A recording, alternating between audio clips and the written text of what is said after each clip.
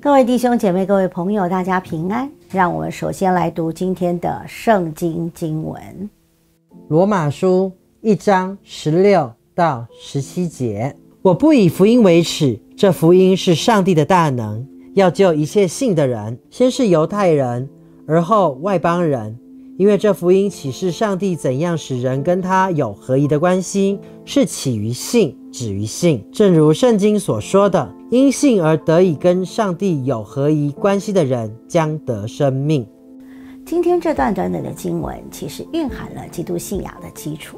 使徒保罗写信给罗马教会，称赞他们是信德传遍天下的教会。这里的信德其实就是 faith，faith。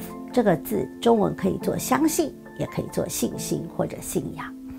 保罗在罗马书一章一开始，先自我定义是传福音的使徒，接着简要阐明福音的内容，是关于上帝的拯救，是透过儿子耶稣基督赏赐给世人的。然后保罗接着说，罗马教会在这样的相信上面成为模范，广为人知，更是期待可以。探访罗马的教会，从上帝拯救的角度简短说明福音的主题。保罗接续从人的角度来探讨相信这个议题。保罗说，福音对人来说就是以相信作为基础，并且以信心来成全。透过人的相信，显明上帝的公平正义，显明圣经所教导的拯救原则，就是一人必因信而生。人能够得到上帝所赏赐的新生命，是因为相信。我们是有限、有罪而且软弱的人。我们在上帝面前唯一可以称道的，就是相信，愿意相信，坚持相信。而这样的信心，就成为我们可以稍稍在上帝面前被称为正直人、义人的理由。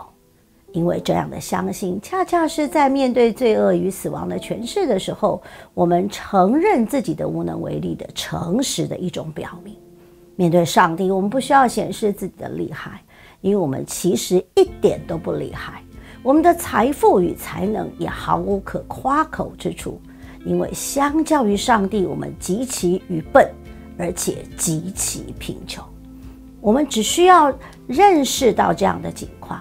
坦诚面对，并且寻求上帝的帮助，上帝就要帮助我们。这就是信仰的原则。面对福音，面对上帝已经全备的拯救恩典，我们以相信为基础，在相信中坚持，以信心显明我们真是上帝的儿女，耶稣的门徒。而这样的信仰，就会成我们被上帝接纳，而且。赏赐的缘由，阿门。